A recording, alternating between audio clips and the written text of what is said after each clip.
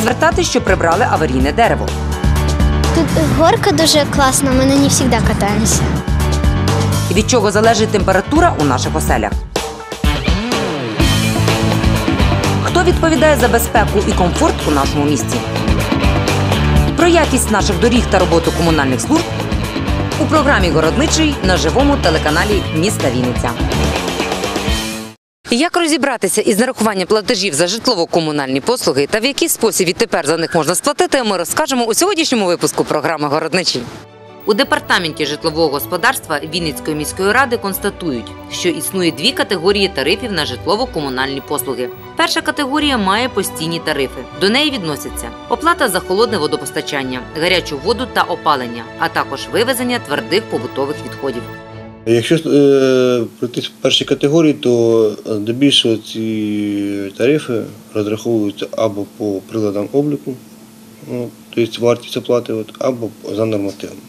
Тобто кожна з цих послуг має затверджений тариф, тобто вартість одиниці послуги, там, чи кубічного метра, чи опалення квадратного метра, чи е, вивезення і захоронення твердих побутових відходів, тобто теж кубічного метра. Відповідно, ці тарифи всі затверджені.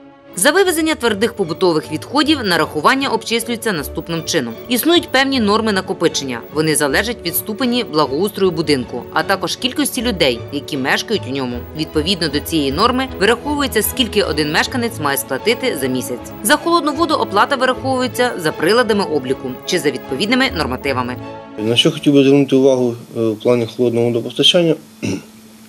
Е, Є така, такий момент, де будинки багатоквартирні обладнані загальнобудинковими приладами обліку.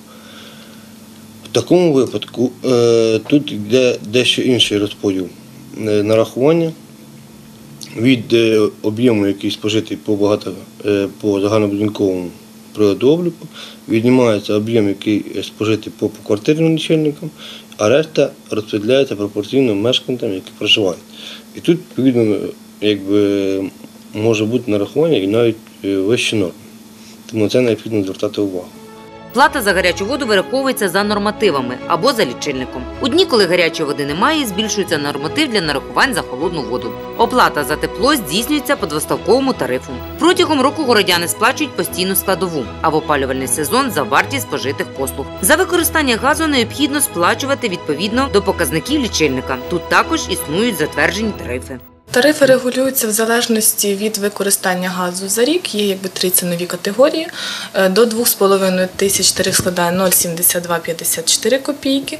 Від 2 до 6 тисяч це є гривня 0,98 і більше 6 тисяч 2,25. Друга категорія тарифів на житлово-комунальні послуги стосується квартирної плати. Тут є свій граничний тариф для кожного будинку. Сума нарахування щомісяця змінюється в залежності від того, які фактичні послуги були надані по обслуговуванні будинку. Ми працюємо по фактичному тарифу. Якщо було прибрано, наприклад, 100 метрів квадратних е, прибудинкової території асфальтового покриття, то сплачується саме за це асфальтове покриття. На сьогоднішній день встановлений граничний тариф, максимальний, максимальний граничний тариф затверджений по, кожному будинку, е, розроблений по кожному будинку. Тобто той мінімум необхідних послуг, який має надаватися, е, все розраховано і виведено. Виведена цифра. Ну, орієнтовно так середня вартість десь 2, 2 гривні 20 копійок. ЖЕКи зобов'язані щомісячно по підсумкам нарахування на під'їздах е, розвішувати інформацію в розрізі складових тарифів, тобто які послуги були надані і скільки вони коштували. Якщо мешканці цікавить більш детально, він може звернутися в ЖЕК або до старшого по будинку, якщо такий є, і контролює безпосередньо нарахування. От, і отримавши карточку фактичної собівартості, вже більш чітко розібратися, що там були, які роботи виконані, скільки вони коштують, і коли вони виконувалися, тобто в якому об'ємі, яка розцінка. Аби звіритися з нарахуваннями за житлово-комунальні послуги, городяни можуть звернутися до центрів обслуговування споживачів, які працюють при ЖЕКах Вінниці. Загалом у місті існують чотири таких центри. У нас е, в прозорому офісі, ну, скажімо так, біля каси є е, відділ бухгалтерії чи працівники бухгалтерії, які можуть надати роз'яснення е, з приводу оплати за водопостачання, водовідведення, е, вивезення твердих побутових від- відходів, а також нашої основної основної послуги це утримання будинку та споруд та прибудинкових територій. Щоденно тут працюють представники ЖЕКу, а два рази на тиждень у центрах обслуговування приймають працівники підприємств-надавачів послуг. За отримані житлово-комунальні послуги вінничани можуть сплатити у ЖЕКах при центрах обслуговування споживачів. Також працюють каси. Сплатити за отримані послуги можна в банках, айбоксах та через мережу інтернет, а саме через інтернет-ресурс pay.vn.ua. На сайті можна переглянути особистий рахунок. Щомісяця на електронну пошту отримувати інформацію про нарахування і за потреби роздрукувати квитанцію. Послуга здійснюється без комісійних. Для входу на сайт необхідно зареєструватися. Аби не було проблем щодо сплати за житлово-комунальні послуги, вам необхідно Крок перший вчасно розрахуватись за отримані послуги. Крок другий у разі питань звертатись у ЖЕКи чи центри обслуговування споживачів. Крок третій.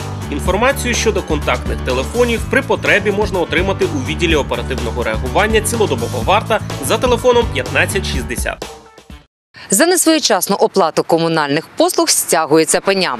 Отож, аби не було проблем із ЖЕКами, потрібно своєчасно розраховуватися за комунальні послуги. З вами була програма Городничий. Телефонуйте, і ми спробуємо допомогти у вирішенні ваших питань.